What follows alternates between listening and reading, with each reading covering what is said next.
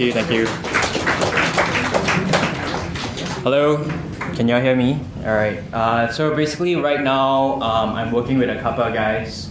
Uh, we are basically, I mean, just a little introduction to myself. Um, we are basically working on a boot camp to teach people uh, how to let, how to you know just learn full stack web development faster.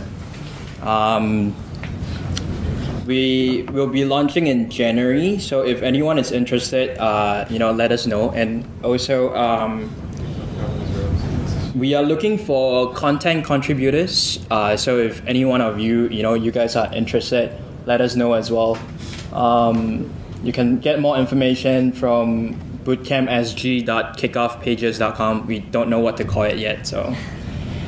Okay, um, so yeah, today we're gonna talk about. I'm gonna talk about uh, building a real-time chat app using HTML5 WebSockets. Um, have any one of y'all used it before or no? So I'm actually a Ruby developer, but I will be presenting using Node.js uh, when, when, when we actually start coding. Okay. Before we get started, you know, I just want to talk about how the web works for those who are not very familiar. Uh, so basically, the web works by okay. There's a client browser. So let's say you type in google.com on t- in your browser uh, what happens is that um, your browser would send a HTTP request to Google server.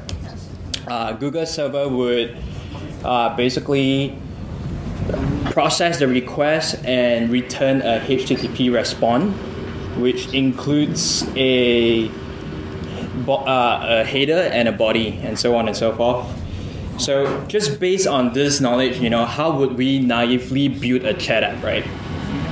Uh, we can build it in such a way that, okay, so you're in the chat application, the user sends a message, so that's a HTTP request. The server will receive the message and probably store it in the database, and then it would uh, return a success message to the client browser. Um, and then other clients, so you know this chat app is not just for one person, right? There's a lot of other users as well.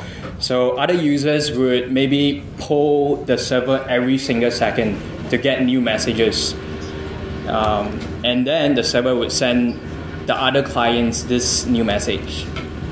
So um, to make it more visual, this is how it, how it looks like. So there's a client browser.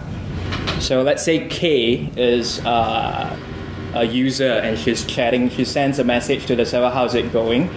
The server receives the message and basically the server would say, okay, I received your message. Okay, and there will be other client browsers um, that's trying to. So other client browsers will basically ping the server again and say, are there any new messages? So if you have five client browsers, every single second, these five client browsers would be pinging the server, are there any new messages? Are there any new messages? And then the server would say, yes, you know, there's a message from K, how's it going? And this goes on and on and on. So what's the problem here, right?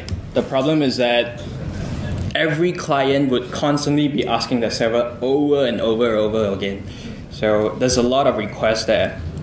So um, the, the main question is when should client browsers request for new messages? And because the client has no idea when there is a new message that is being received.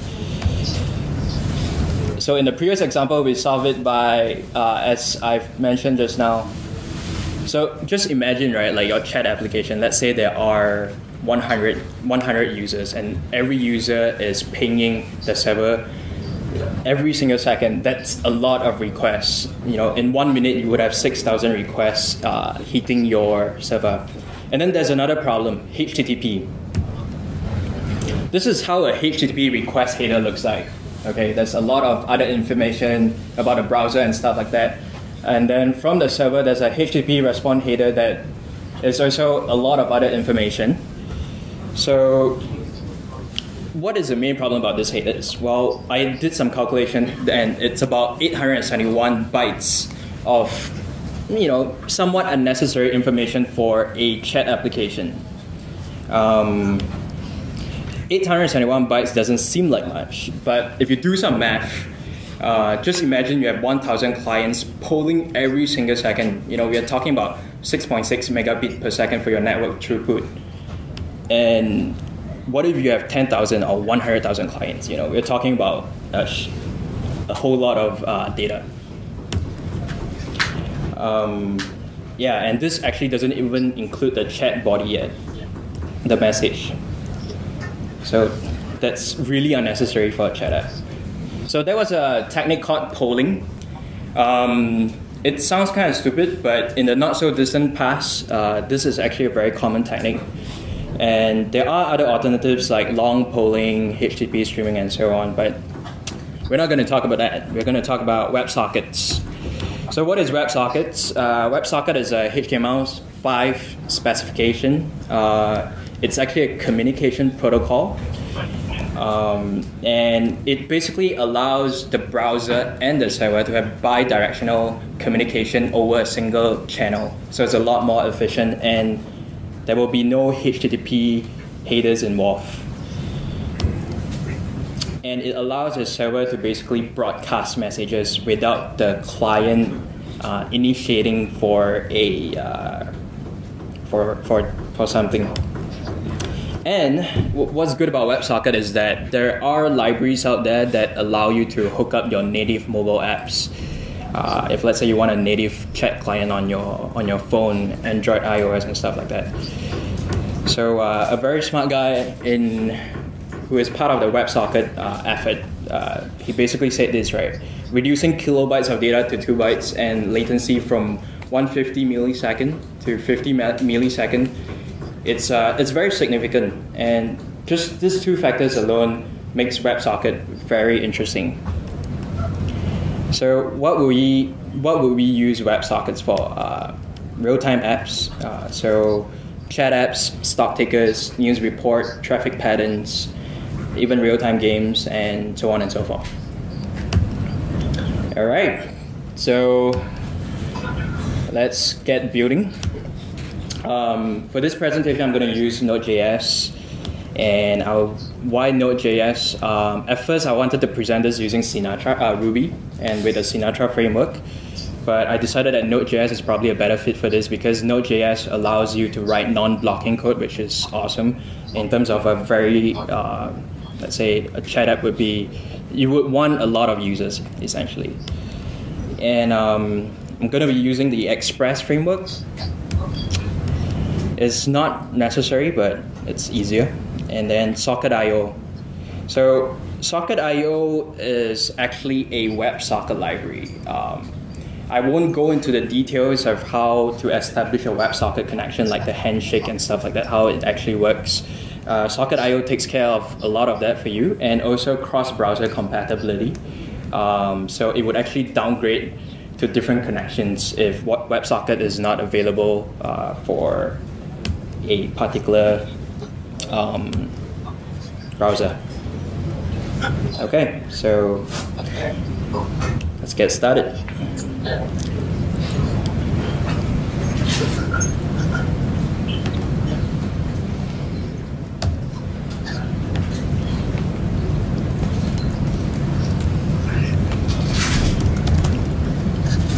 okay, I'm gonna call this chat. Uh, chatting with geeks. It's kind of hard actually.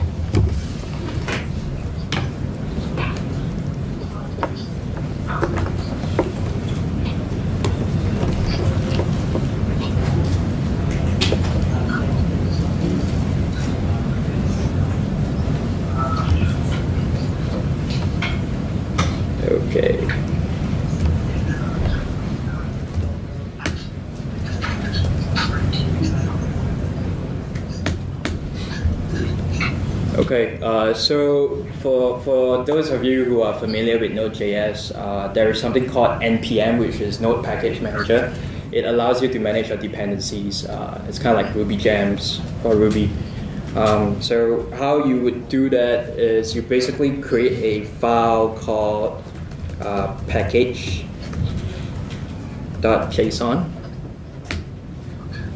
Right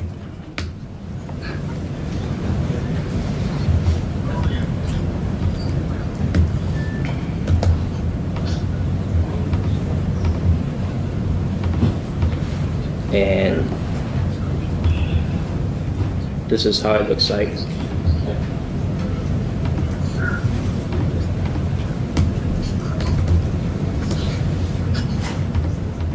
Okay. So let's call this chat for gigs. You can specify version number and uh, description, and then you you basically uh, tell npm what are the dependencies for your application here, and you can also specify the version. So after you're done with this, you would just run uh, npm install. All right. So this would install all your different dependencies.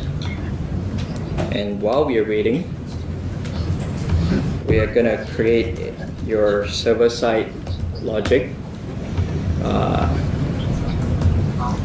all right, so I will just put it in the root directory.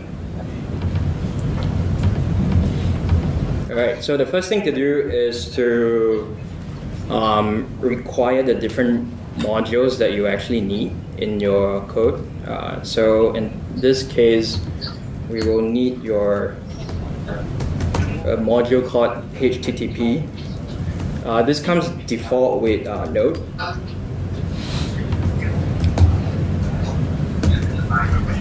And we will require Express.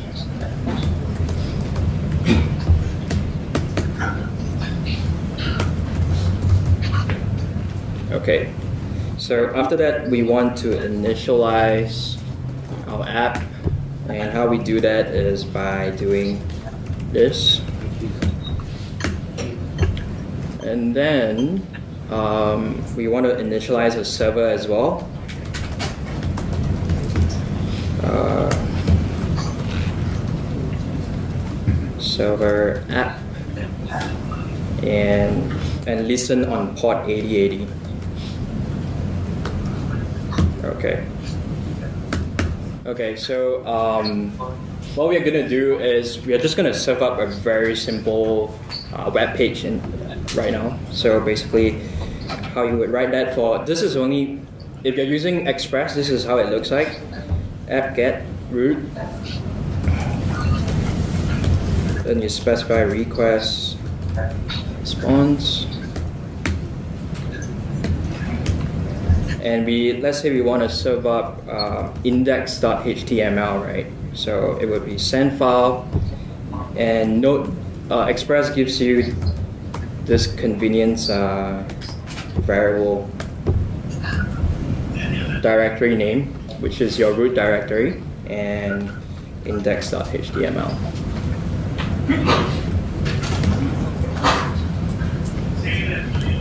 So let's create index.html here. Uh, R which one? Hello, sexy.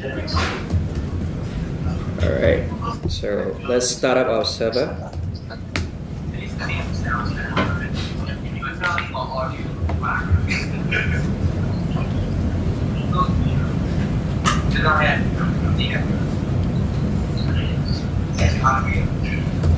Localhost 8080 that's where our server is listening.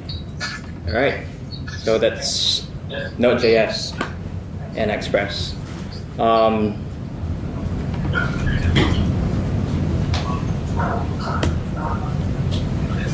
so what's next?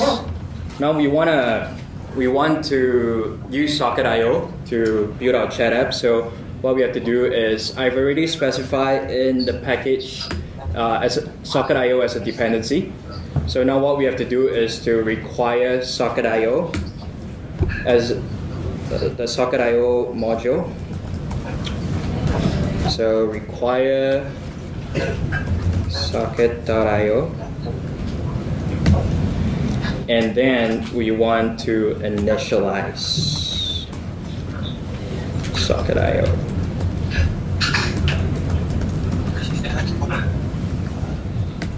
Okay. Um, I'm going to copy some styling that I've already done previously.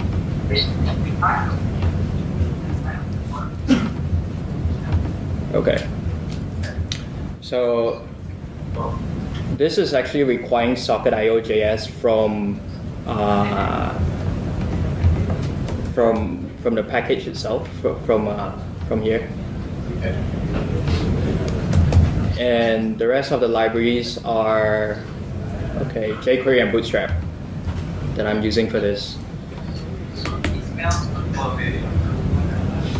So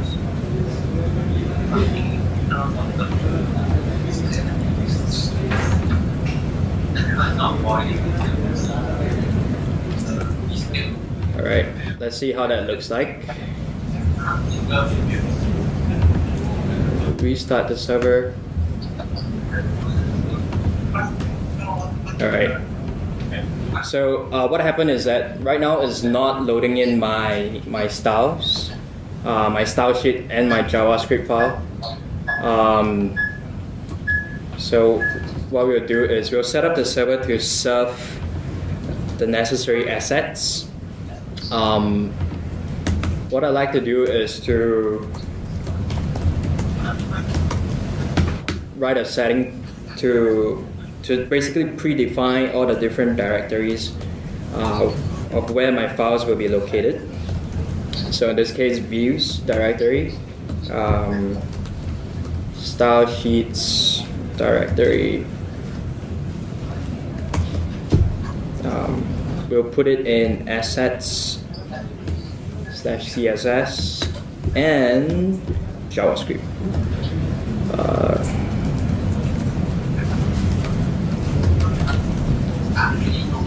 and we'll put it in assets JS. Okay. And we would have to make a folder for that. So uh, make directory for views and make directory for assets uh, JS and CSS. Alright, so now we have the directories. Assets, CSS, JavaScript, views. We want to move index.html into view, so move index.html into views index.html. Alright.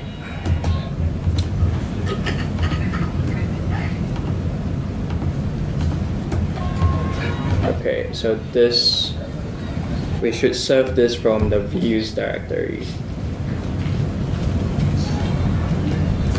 So settings dot view underscore directory. Yep. So let's see if this works.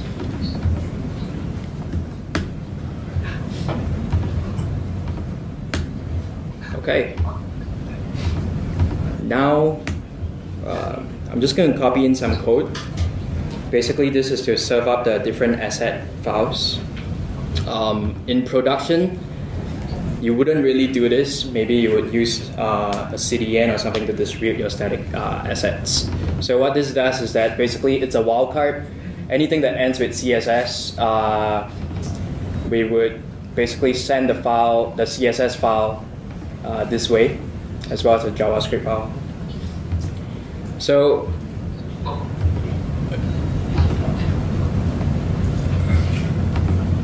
unfortunately, you have to restart your server, um, and it should load in my styles or not.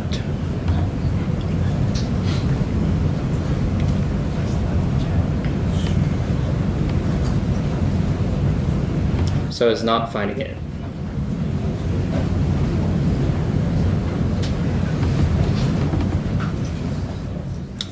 Um, so I actually forgot to include the, the files. So it's actually a blank folder. Um, just copy it.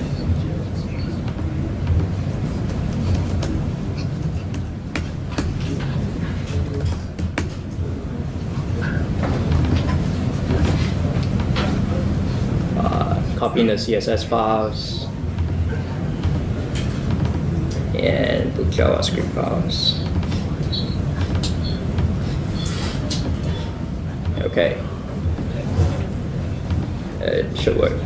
Yes. That doesn't look a lot better, but um, it's functional. Um, okay, so right now we we want to initialize uh, Socket.io um, to make it connect. So you have to write both server-side logic as well as uh, you know client-side uh, to to connect uh, the both sides to use WebSockets. So we'll start with server-side. Um, we're just gonna put everything in this file. Um, it's probably not the best practice, but it's easy to see. So IO, IO comes from here. So we initialize WebSocket to listen on this server. Uh, what we want to do is make it work. So on connection,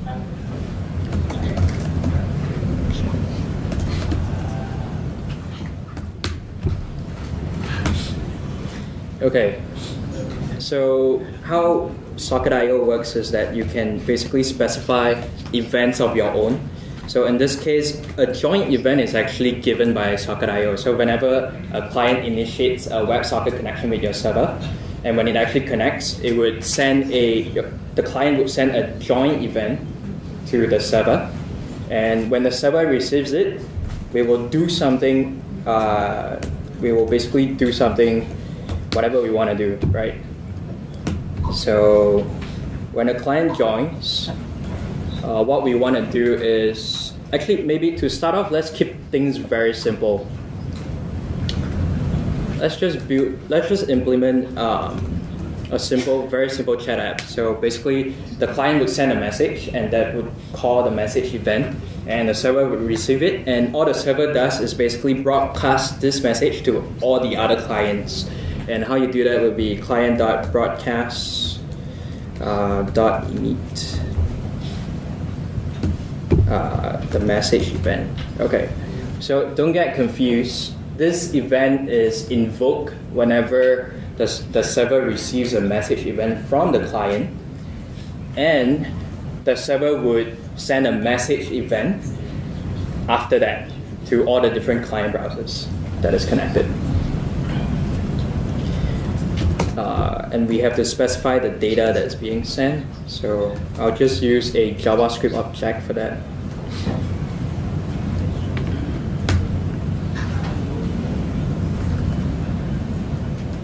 Okay, perfect. So um, we will have to set, uh, we have to initialize the WebSocket connection on the client side as well. So how we do that is we have already required socket.io here.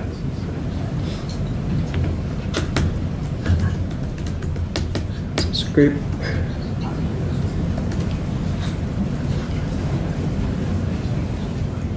Okay.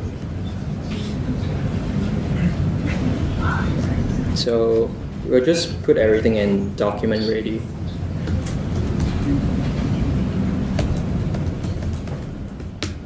Okay. So how do we initialize uh, a socket connection? Do IO connect. Okay, what you have to put here is your server's uh, address. So it could be an IP address or a domain. Um, I have to check what my my uh, IP address is right now. Okay. And I'm running on port 8080.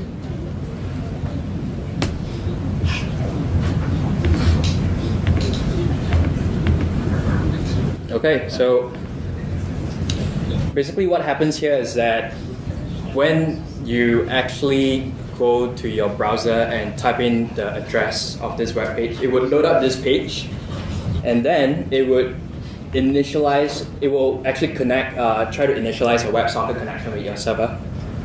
Um, and you have to specify the address. So now what happens is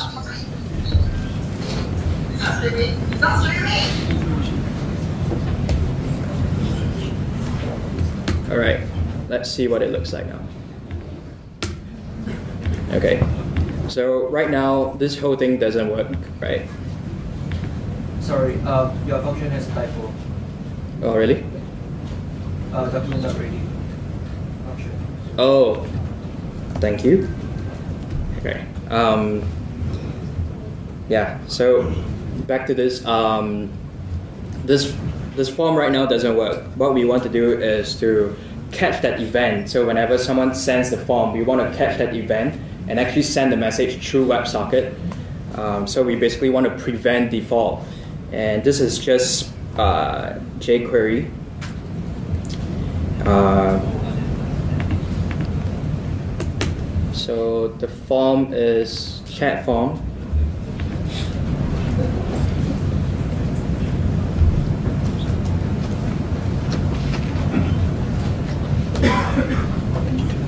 Yeah. Sharing.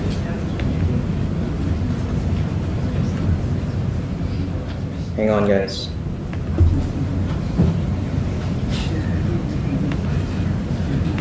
Okay. Yeah. Using that screen. Okay. Okay. Uh, sorry for that.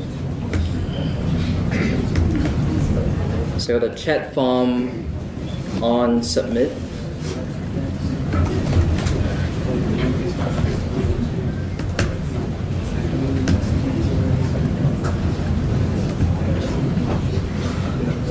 Okay. So we want to prevent the form from doing its default, uh, which is actually submitting to the server. Uh, we want to prevent def- default and we actually want to use uh, WebSockets using Socket.io to actually send the message to the server. So how we would do that is basically we want to grab the message out first. Um, where's my mouse? So this is actually the text area of my form. Uh, I gave it a chat ID of chat input to make things easy. So I'm gonna call it chat input. Uh,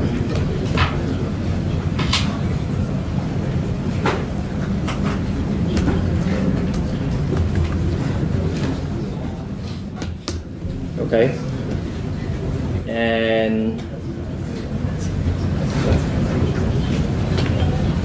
Now what we want to do is basically send the message to the server. Uh, let's call it a message event. And we're gonna send. Oh, I actually haven't grabbed the message out.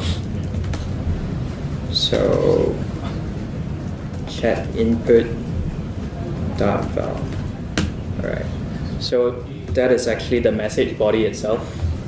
Uh, this is a jQuery method.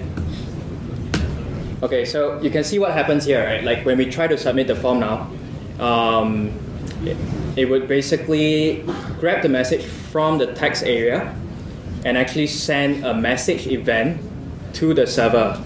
The server receives the message here, and then it would broadcast this message to other uh, clients connected. So let's test that out first.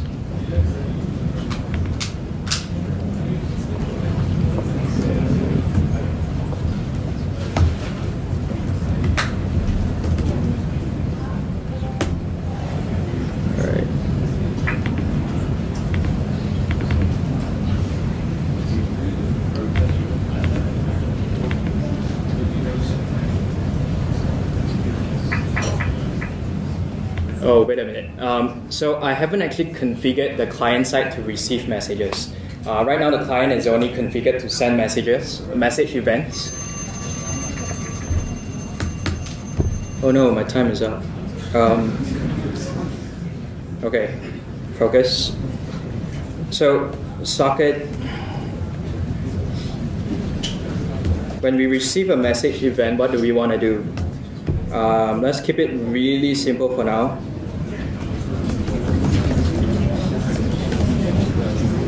Okay, so this is basically a callback function, right? Uh, when, whenever we receive a message event, the data that is being passed from the server, or let's just let's just make it an alert.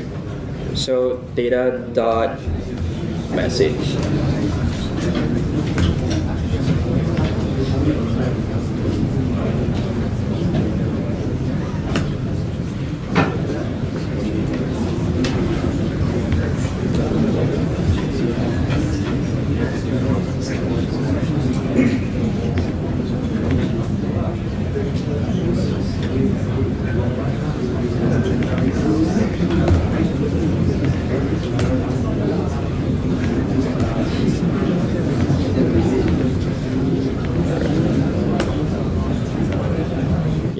So it actually works. Um,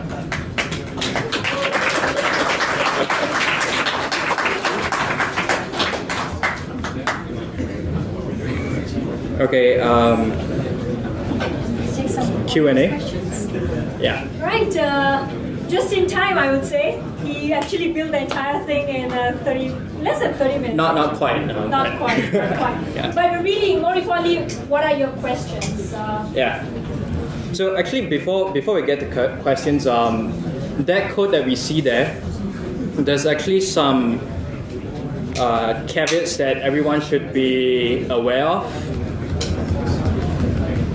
and that is basically security, right? Like this form is not is not production safe because uh, it doesn't protect for cross-site cross-site scripting. It allows me to input JavaScript code, and then if you're running my chat app, you know I can just like do some funny stuff to your to your browser.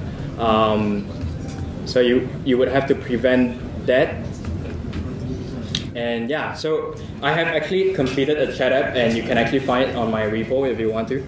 Uh, the link is there. So awesome. Let's have some uh, Q&A. questions. Yes. Um, I have a question. What's the advantage of using WebSocket instead of using SMTP server for real apps for chatting? So, um, traditionally, some people would use some other protocols. Uh, the thing about WebSocket is that now it's it's a new specification. So, you know, for you to actually build up your own server, you know, to your own connection to actually run a chat app, it's it's very involved. Like there's a lot more things to do. Whereas WebSocket is awesome because it's a specification, and the, the world is moving towards there. So I would just say it's a new technology, and it makes things a lot easier for as a developer. That's the main advantage. Instead of using SMTP? Yeah, basically, S- SMTP as in, I think um, I forgot what it, what it was called, uh, but basically people set up their own TCP connection to build their own chat apps. So like Facebook, WhatsApp, they probably do that because they started, you know, just when WebSockets was getting finalized and stuff like that. Um, I've looked through some of their code briefly, and it's it's crazy. It's crazy. It's like, you know, now that we have WebSockets, it's like it just makes things so much easier.